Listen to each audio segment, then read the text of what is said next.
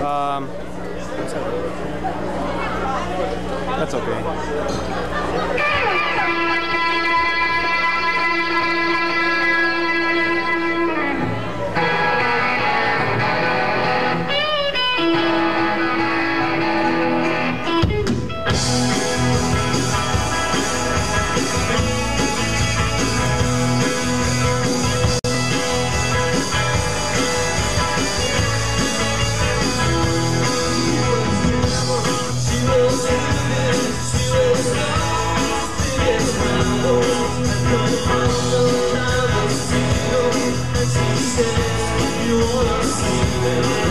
Thank you.